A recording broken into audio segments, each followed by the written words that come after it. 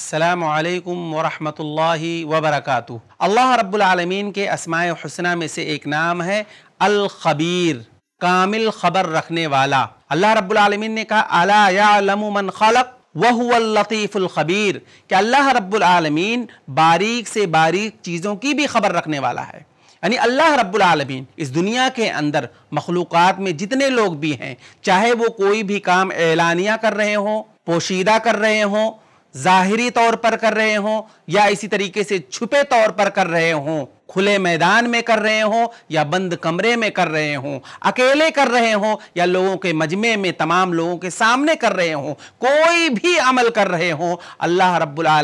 बारीक से बारीक तमाम चीज़ों की मुकम्मल तौर से खबर रखने वाला है और ये सिर्फ़ और सिर्फ़ अल्लाह रब्बुल की शान है। इस दुनिया के अंदर कोई ऐसी ज़ात नहीं है जो मुकम्मल तौर से हर चीज़ की खबर रखे।